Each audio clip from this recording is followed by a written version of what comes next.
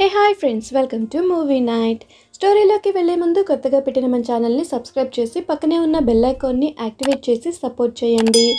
ఇంకా స్టోరీలోకి వెళ్తే ఒక వ్యక్తి బాడీ అంతా బాగా దెబ్బలు తగిలి ఒక చోట కూర్చొని ఉంటాడు. అతను ఇట్స్ నాట్ హర్ ఫాల్ట్ అని అంటూ ఉంటాడు. ఇక్కడితో సీన్ కట్ అయ్యి అసలు ఏం జరిగింది అనేది చూపిస్తారు. డేవిడ్ అనే వ్యక్తి ఒక సివిల్ ఇంజనీర్ అతనికి ఒక గర్ల్ ఫ్రెండ్ ఉంటుంది. ఆమె పేరు నార్జా. నార్జా ఒక డాక్టర్ ఒకరోజు డేవిడ్ ఆఫీస్లో ప్రాజెక్ట్ సక్సెస్ పార్టీ జరుగుతూ ఉంటుంది. ఆ పార్టీకి నార్జా కూడా వస్తుంది. అప్పుడు డేవిడ్ నేను వాష్రూమ్కి వెళ్ళి వస్తా అని చెప్పి వాష్రూమ్కి వెళ్ళి అక్కడ నుంచి పార్టీ హాల్లో ఉన్న డీజేకి కాల్ చేసి నార్జాకి ప్రపోజ్ చేయడానికి ట్రై చేస్తూ కంగారులో ఏదేదో మాట్లాడేస్తూ ఉంటాడు. అప్పుడు కరెక్ట్గా Nadja will you marry me? అని అడిగే టైంకి కాల్ కట్ అయిపోతుంది. అప్సెట్ అయ్యి వాష్రూమ్ నుంచి బయటికి వస్తున్న డేవిడ్ ఎదురుగా నిల్చున్న నార్జాను చూసి ఆగిపోతాడు. అప్పుడు నాడ్జా ఏంటి వాష్రూమ్ నుంచి నువ్వు నాకు ప్రపోజ్ చేస్తున్నావా? అని నవ్వేసి yes of course I will marry you అని డేవిడ్ని కిస్ చేస్తుంది. కట్ చేస్తే వన్ అండ్ హాఫ్ ఇయర్ తర్వాత సీన్ ఓపెన్ అవుతుంది. అందరూ హస్బెండ్ అండ్ వైఫ్ లాగానే Nadja and David washing machine పాడైపోయింది అని గొడవ పడుతూ ఉంటారు. అప్పుడు నాడ్జా నీకు ఫ్రీ ఫైర్ గేమ్ ఆడటానికి టైం ఉంది కానీ వాషింగ్ మిషన్ రిపేర్ చేయడానికి టైం లేదా అని కోపంగా క్లోత్స్ తీసుకొని పబ్లిక్ లాండ్రీకి వెళ్తుంది. అప్పుడు అక్కడికి థామస్ అనే వ్యక్తి వస్తాడు. థామస్ నాడ్జా ఫ్యామిలీకి క్లోజ్ ఫ్రెండ్ ఇంకా నైబర్ కూడా. థామస్ ఏమైంది నాడ్జా అని అడుగుతాడు. ఆన్సర్ చెప్పేలోపే నార్జా వామిట్ చేసుకుంటుంది. దాంతో థామస్ నువ్వు బాగానే ఉన్నావా? అని అడుగుతాడు. థామస్ నేను ప్రెగ్నెంట్. ఈ విషయం డేవిడ్కి చెప్పొద్దు. ఎందుకంటే డేవిడ్కి ఇంకా లైఫ్ మీద సీరియస్నెస్ రాలేదు. ఇంకా మా మధ్య అండర్స్టాండింగ్ ఉండటం లేదు. అందుకే అప్పుడే బేబీ వద్దనుకుంటున్నా అని అంటుంది. అప్పుడు థామస్ నాడ్జా పిల్లలు లేక ఎంతమంది బాధపడుతున్నారు? నువ్వు తీసుకున్న డెసిషన్ రాంగ్. పిల్లలు పుడితే డేవిడ్ రెస్పాన్సిబిలిటీ వస్తుంది. నువ్వు ఎక్కువ ఆలోచించకుండా ఒక మంచి సందర్భం చూసి డేవిడ్కి చెప్పు అంటాడు. దానికి Nadja thank you so much Thomas. ఎప్పుడు మా ఫ్యామిలీకి సపోర్ట్గా ఉంటున్నావు? అని హక్ చేసుకుంటుంది. Next day David washing machine repair చేసి నార్జాకి బ్రేక్ఫాస్ట్ ప్రిపేర్ చేసి ఒక నోట్ రాసి బెడ్ పక్కన పెడతాడు. నార్జా నోట్ తీసి చదువుతుంది. మీట్ మీ ఇన్ బాత్రూమ్ అని ఉంటుంది. బాత్రూమ్కి వెళ్ళి చూస్తే రిపేర్ చేసిన వాషింగ్ మిషన్ మీద మరొక నోట్ ఉంటుంది. మీట్ మీ ఇన్ పార్కింగ్ అని.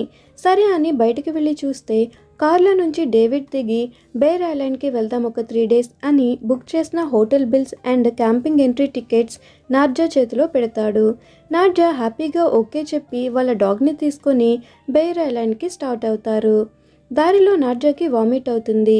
అయినా సరే తను ప్రెగ్నెంట్ అన్న విషయం డేవిడ్కి చెప్పదు. తర్వాత ఒక గ్యాస్ స్టేషన్ దగ్గర ఆగి పెట్రోల్ ఫిల్ చేసుకుంటుంటే అక్కడికి ఒక వ్యక్తి వచ్చి మీ పెట్ డాగ్ చాలా బాగుంది అని మాట్లాడుతూ ఉంటాడు డేవిడ్తో. నాకు ఒక జర్మన్ చెప్పాడు ఉంది అని తన ట్రక్ వైపు చూపిస్తాడు. తర్వాత ఆ వ్యక్తి నీ వైఫ్ చాలా బాగుంది అని అనగానే డేవిడ్కి ఏదో తేడాగా ఉంది అనిపించి ఓకే బ్రో మేము ఇక్కడి నుంచి వెళ్ళిపోవాలి అని తన డాగ్ని తీసుకొని వెళ్తుంటే ఆ డాగ్ ట్రక్ దగ్గరికి వెళ్ళి అరుస్తూ ఉంటుంది. డేవిడ్ ఆ ట్రక్ దగ్గరికి వెళ్ళి చూస్తే ఆ ట్రక్లో రెయిన్ డీర్ని చంపి తీసుకెళ్తూ ఉంటాడు ఆ వ్యక్తి. ఇంకా పక్కనే రైఫిల్ అండ్ హౌంటింగ్ ఎక్విప్మెంట్ కూడా ఉంటాయి. డేవిడ్ తన డాగ్ని తీసుకొని కారెక్కి నార్జాకి విషయం చెప్తాడు. మనం త్వరగా వెళ్ళిపోదాం అని అక్కడి నుంచి స్టార్ట్ అవుతారు. మొత్తానికి ఆ రోజు ఆఫ్టర్నూన్కి వాళ్ళు ఉండాల్సిన హోటల్కి వెళ్తారు. మొత్తం మేము త్రీ డేస్కి బుక్ చేసుకున్నాం. కానీ ఈ రోజు బయట క్యాంప్ వేసుకుంటాం. మిగిలిన టూ డేస్ హోటల్లో ఉంటాం అని మాట్లాడుతూ పక్కకు చూస్తాడు డేవిడ్. అక్కడ గ్యాస్ స్టేషన్లో కనిపించిన వ్యక్తి కూర్చొని డ్రింక్ చేస్తూ ఉంటాడు.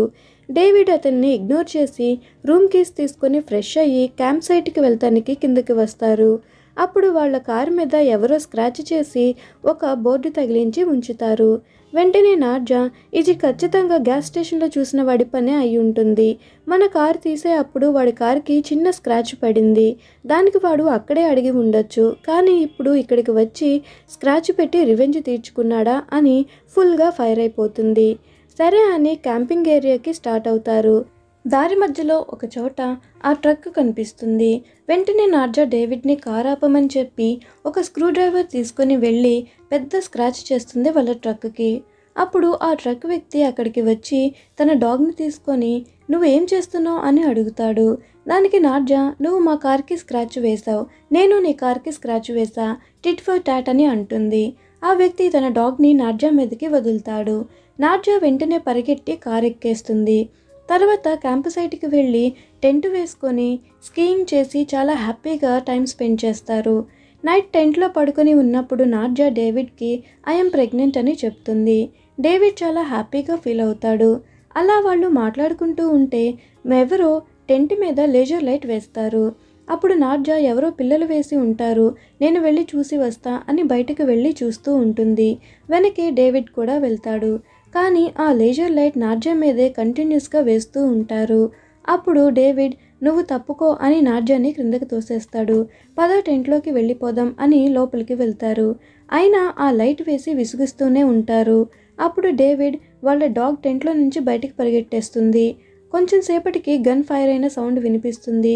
ఇంకా డాగ్ని చంపేశారు. ఇక్కడే ఉంటే మనల్ని కూడా చంపేస్తారు అని టెంట్ నుంచి బయటికి పరిగెడతారు ఇద్దరు వాళ్ళు అలా వెళ్తూ ఉంటే సడన్గా ఫైర్ లైట్ ఒకటి ఆకాశంలోకి వేస్తారు ఎవరో. అది చూసి నార్జా భయపడి వాళ్ళు మనల్ని ఫాలో అవుతున్నారు అని దగ్గరలో ఉన్న ట్రీస్లోకి పరిగెడతారు. ఒక చోట ఆగి ఇంకా నార్జా నేను పరిగెట్టలేను అని స్టమక్ పట్టుకొని కూర్చుండిపోతుంది. ఇంతలో బైక్ సౌండ్ వినిపిస్తుంది. అప్పుడు డేవిడ్ వాళ్ళు ఇద్దరు ఉన్నారనుకుంటా టూ బైక్స్ ఉన్నట్టు సౌండ్ వినిపిస్తుంది. ఇంకా వాళ్ళు దగ్గరికి వచ్చేస్తున్నట్లు ఉన్నారు. పద వెళ్దామని దగ్గరలో ఉన్న ఒక చిన్న క్యాబిన్లోకి వెళ్ళి దాక్కుంటారు. ఉదయం అయిన తర్వాత తిరిగి వాళ్ళ క్యాంప్ ప్లేస్కి వచ్చి చూస్తారు. ఆ టెంట్లో ఒక ట్రాప్ పెట్టి దాని మీద ఒక కోట్ వేసి ఆ కోట్ మీద డాగ్ హెడ్ పెట్టి ఉంచుతారు. మిగతా వాళ్ళు ఆ థింగ్స్ అన్ని తీసుకొని వెళ్ళిపోతారు. డాగ్ని చూసి బాధపడిన బాగా చలివేస్తుంది అట్లీస్ట్ కోట్ అయినా తీసుకుందాం అని కోట్ తీసుకోవటానికి చేయి పెడతాడు డేవిడ్. అప్పుడు సడన్గా ట్రాప్లో చేయి పడి నలిగిపోతుంది. నార్జాని పెయిన్ తట్టుకోలేక నువ్వు డాక్టర్వే కదా ఏమైనా చెయ్యి అని అంటాడు. మన సామాన్లు వాళ్ళు తీసుకువెళ్ళిపోయారు. ఇంకా ఏం చేస్తాం? అని వాళ్ళు పడుకున్న బెడ్ని చింపి పక్కనే ఉన్న బెల్ట్తో డేవిడ్ చేయికి కట్టుకట్టి పద వెళ్ళిపోదాం వాళ్ళు వస్తారేమో అని వెళ్తూ ఉంటే మళ్ళీ ఫైరింగ్ జరుగుతుంది. డేవిడ్ కింద పడిపోతాడు. నార్జా ట్రీస్లోకి పరిగెడుతుంది. కానీ నార్జా నిల్చున్న ప్లేస్లో వాటర్ పైన ఐస్ కట్టి ఉంటుంది. ఆ ఐస్ బ్రేక్ అవుతూ ఉంటుంది. నార్జాని వెతుక్కుంటూ డేవిడ్ వస్తాడు. మాట దగ్గరగా వినిపిస్తుంది కానీ దట్టమైన పొగ వల్ల ఒకరికి ఒకరు కనిపించరు. డేవిడ్ ఐస్ బ్రేక్ అవుతుంది అని చెప్పేలోపు వాటర్లో పడిపోతాడు.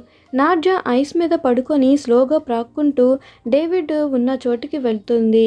ఆ వాటర్ హోల్ దగ్గరికి వెళ్ళి చూస్తుంది. కానీ డేవిడ్ కనిపించడు. తన హాఫ్ బాడీ వాటర్లోకి పెట్టి నార్జా చేతులతో తడుముతుంది. డేవిడ్ తగిలితే పైకి లాగుదామని. కానీ కనిపించడు. నార్జా ఏడుస్తూ ఉంటే కొంతసేపటికి డేవిడ్ బయటకు వస్తాడు. నార్జా ఎలాగో అలా డేవిడ్ని బయటకు లాగి ఎక్కడైనా ఎమర్జెన్సీ క్యాబిన్స్ ఉన్నాయేమో అని వెతుక్కుంటూ ఉంటుంది. అప్పుడు వాళ్ళకి కొంత దూరంలో ఒక వ్యక్తి నిల్చున్నట్లు కనిపిస్తాడు. వెంటనే ఇద్దరూ పరిగెడతారు. చివరికి ఈవినింగ్ కావటంతో వాళ్ళకి ఒక ఎమర్జెన్సీ క్యాబిన్ కనిపిస్తుంది. డేవిడ్ని తీసుకుని అక్కడికి వెళ్తూ ఉంటే డేవిడ్కి ఒక చిన్న పిల్లవాడు అక్కడ నిల్చున్నట్లు కనిపిస్తుంది. కానీ నార్జాకి అక్కడ ఎవరూ కనిపించరు. బలవంతంగా అక్కడే నిలబడి చూస్తున్న డేవిడ్ని క్యాబిన్లోకి తీసుకెళ్ళి అక్కడ ఫస్ట్ ఎయిడ్ కిట్ ఉంటే ట్రీట్మెంట్ చేస్తుంది డేవిడ్కి. ఇంకా తన స్టమక్లో బేబీకి ఏమైనా అయ్యిందా అని సెటస్కోప్తో చెక్ చేసుకుంటే లోపల బేబీ తిరుగుతున్నట్లు సౌండ్ వస్తుంది. తర్వాత ఎమర్జెన్సీ క్యాబిన్లో నుంచి రెస్క్యూ టీమ్కి కాల్ చేస్తుంది. ఇంకా ఆ క్యాబిన్లో ఫైర్ లైట్ ఒకటి ఉంటే దాన్ని తీసుకుంటుంది. ఉదయం కావటంతో అక్కడికి ఒక వ్యక్తి వస్తాడు రైఫిల్ పట్టుకొని. అతనిని కూడా వీళ్ళు ట్రక్ డ్రైవర్తో పాటు చూసి ఉంటారు.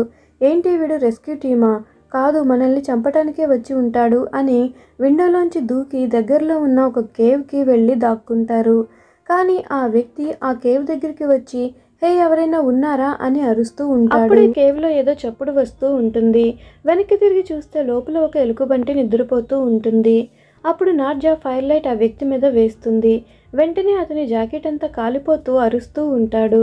ఇంకా అక్కడి నుంచి నార్జా అండ్ డేవిడ్ పారిపోతూ ఉంటే డేవిడ్కి బాగా రక్తం పోవటంతో ఇంకా ఆహారం లేకపోవటంతో ఇల్యూషన్స్ వస్తూ ఉంటాయి. కానీ నార్జా నీ మైండ్ని స్టేబుల్గా ఉంచుకో మనకేం కాదు అని ధైర్యం చెప్పి తీసుకెళ్తుంటుంది. మళ్ళీ వాళ్ళ మీద ఫైరింగ్ జరుగుతుంది. ఒక బుల్లెట్ డేవిడ్ షోల్డర్కి తగులుతుంది. దాంతో డేవిడ్ కింద పడిపోతాడు. అప్పుడు నార్జాతో వాళ్ళు ఫైరింగ్ చేసే ప్రతిసారి టెన్ సెకండ్స్ గ్యాప్ వస్తుంది.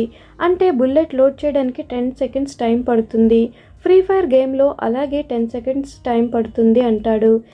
అది గేమ్ ఇది రియల్ లైఫ్ అని ముందుకి పారిపోదాం పద అంటుంది నార్జా. అయితే అలా ప్రతి టెన్ సెకండ్స్కి ఒకసారి కిందకి వంగుతూ వెళ్దాము అని చెప్పి అలాగే పరిగెడుతూ ఉంటారు. అప్పుడే అక్కడ ఆ ట్రక్ డ్రైవర్ కనిపిస్తాడు. హే మీకేమైంది? ఏంటి ఇక్కడ ఉన్నారు? అని అతను అడుగుతాడు. అతని చేతుల్లో రైఫిల్ చూసిన డేవిడ్ అండ్ నార్జా వాళ్ళని ఆ వ్యక్తి చంపేస్తాడేమో అని చెప్పి వెంటనే డేవిడ్ ఒక రాయి తీసుకొని ఆ ట్రక్ డ్రైవర్ తల మీద బలంగా కొడతాడు. ఆ డ్రైవర్ అక్కడే చనిపోతాడు. కొంతసేపటికి ఒక హౌస్ కనిపిస్తుంది. ఆ హౌస్ హోటల్ రూమ్ రెంట్కి ఇచ్చిన వ్యక్తిది. వెంటనే లోపలికి వెళ్ళి ప్లీజ్ పోలీసులకి కాల్ చేయండి అని అంటుంది నార్జా. ఆ వ్యక్తి తడబడుతూ సరే అని పోలీసులకి కాకుండా ఎవరికో కాల్ చేస్తుండటం విన్న నార్జా అక్కడి నుంచి పారిపోవడానికి ప్రయత్నిస్తారు. కానీ ఆ వ్యక్తి వాళ్ళ వెంట కత్తి పట్టుకొని పరిగెడుతూ ఉంటాడు. అలా వాళ్ళు ఒక రూమ్లోకి వెళ్ళి తలుపు వేసుకొని వెనక్కి తిరిగి చూడగానే అక్కడ వాల్కి నార్జా అండ్ డేవిడ్ ఫొటోస్ చాలా కనిపిస్తాయి. అప్పుడు నార్జా అండ్ డేవిడ్ ఒకరి ముఖాలు ఒకరు చూసుకుంటారు. వాళ్ళ ఫొటోస్ కింద ఒక చిన్న బాబు ఫోటో కూడా ఉంటుంది. ఆ ఫోటో చూడగానే డేవిడ్కి నార్జాకి ఒక ఫ్లాష్ బ్యాక్ గుర్తొస్తుంది. వాళ్ళ పెళ్ళి అయిన రోజున సరదాగా కారులో ఇంటికి వస్తూ ఉంటే నార్జా కారులోనే డేవిడ్ని సడ్యూస్ చేయడానికి ట్రై చేస్తుంది. ఆ టైంలో రోడ్ మీద నిలబడి ఉన్న ఒక చిన్న బాబుని ఢీ కొట్టేస్తారు. వెంటనే కార్ దిగి నార్జా వెళ్ళి చూడగా ఆ చిన్న బాబు స్పాట్లోనే చనిపోయి ఉంటాడు. అప్పుడు డేవిడ్ ఎవరు చూడలేదు. చూస్తే కేసు అవుతుంది త్వరగా ఎక్కువ కారులోకి వెళ్ళిపోదామని చెప్పి నార్జాతో అంటాడు. అలా చిన్నపిల్లవాడి బాడీని రోడ్డు మధ్యనే వదిలేసి వాళ్ళు వెళ్ళిపోతారు. సీన్ కట్ చేస్తే వెనక్కి తిరిగి చూసిన నార్జా అండ్ డేవిడ్కి అక్కడ థామస్ కనిపిస్తాడు. నాడ్జా థామస్ ఇక్కడ ఏం చేస్తున్నావు నువ్వు? అని అడగగానే థామస్ ఆ చిన్న పిల్లవాడి ఫోటోని చేత్తో పట్టుకొని ఈ పిల్లవాడు ఎవరో తెలుసా? అని చెప్పి థామస్ కూడా ఫ్లాష్ బ్యాక్ చెప్తాడు. ఆ చిన్న బాబు నా కొడుకు నా ఒక్కగానొక్క కొడుకు. నేను అతను ఒకరోజు డ్రోన్ ఎగరవేస్తూ ఆడుకుంటూ ఉంటే అదే టైంలో మీరు ఒళ్ళు తెలియకుండా కారు ఫాస్ట్గా డ్రైవ్ చేసుకొని వచ్చి నా కొడుకుని ఢీకొట్టి చంపేశారు. నిర్దాక్షిణంగా నా కొడుకు బాడీని నడి రోడ్డు మీద వదిలిపెట్టి వెళ్ళిపోయారు.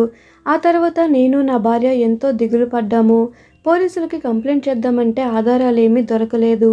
అలా ఒకరోజు డ్రోన్ని నేను ఓపెన్ చేసి చూస్తే దానిలో రికార్డ్ అయిన ఒక వీడియోని చూస్తే ఆ కార్ మీదని తెలిసింది. అందుకనే పోలీసులకి చెప్పకుండా నేనే మిమ్మల్ని చంపేద్దామని చెప్పి మీతో ఫ్రెండ్షిప్ చేసి మీ నైబర్గా మీ ఇంటెదురుగానే వచ్చాను. ఇంకా మీరు ఎక్కడికి వెళ్ళినా మిమ్మల్ని ఫాలో చేస్తూ ఫొటోస్ తీస్తూ అబ్జర్వ్ చేస్తూ ఉన్నాను అని అంటాడు. అప్పటి నుంచి సరైన సందర్భం కోసం వేచి చూశాను. ఈ మధ్య మీ ఇద్దరు గొడవలు పడటం చూసి నేనే డేవిడ్తో మాట్లాడి ఈ బేర్ ఐలాండ్కి వెళ్ళండి అని ప్లాన్ చెప్పాను. కావాలనే మిమ్మల్ని ఇక్కడికి రప్పించాను. నేను నా భార్య పడిన బాధ మీ ఇద్దరికీ తెలియాలి. అందుకనే ఇప్పుడు నేను చెప్పేది మీరు చేయాలి లేకపోతే మీ ఇద్దరిని నేను చంపేస్తా అని డేవిడ్ చేతికి ఒక డ్రిల్లింగ్ మిషన్ ఇస్తాడు. ఈ డ్రిల్లింగ్ మిషన్తో నువ్వు నార్జా కడుపులో మొత్తం డ్రిల్ చేసేయాలి అని చెప్పి అంటాడు. ఒకవేళ నువ్వు అలా చేయకపోతే నార్జాని నేను చంపేస్తా అని నార్జా వెనక్కి వెళ్ళి తన హెడ్ మీద రైఫిల్ గురి పెడతాడు. అప్పుడే అక్కడికి ఆ రెస్క్యూ పర్సన్ వస్తాడు. ఎవరి మీద అయితే నార్జా ఫైర్ లైట్ వేసిందో ఆ వ్యక్తి. అక్కడికి వచ్చి థామస్ నువ్వేం చేస్తున్నావు? ఎందుకు వాళ్ళ మీద గన్ పెట్టావు? అని అడుగుతాడు. అప్పుడే ఇంట్లో ఉన్న ఆ హోటల్ వ్యక్తి కూడా వస్తాడు. అతను ఎవరో కాదు థామస్ వాళ్ళ తమ్ముడే. బ్రో వాళ్ళని వదిలిపెట్టు ఆమె ప్రెగ్నెంట్ అని చెప్తుంది కదా అని అంటాడు. అలా ముగ్గురు వాదించుకుంటూ ఉంటే రెస్క్యూ టీం మెంబర్ చేతిలో ఉన్న గన్ థామస్ వాళ్ళ తమ్ముడి హెడ్కి తగిలి వాళ్ళ తమ్ముడు అక్కడే చనిపోతాడు. దాంతో థామస్ అండ్ ఆ రెస్క్యూ పర్సన్ ఇద్దరు గొడవ పడుతూ ఉంటే అదే మంచి సమయం అని చెప్పి డేవిడ్ అండ్ నార్జా బయటికి పరిగెడతారు. కానీ థామస్ ఆ రెస్క్యూ టీం మెంబర్ని చంపేసి బయటికి వచ్చి డేవిడ్ని పట్టేసుకుంటాడు. కానీ నాడ్యా అక్కడి నుంచి పారిపోతుంది.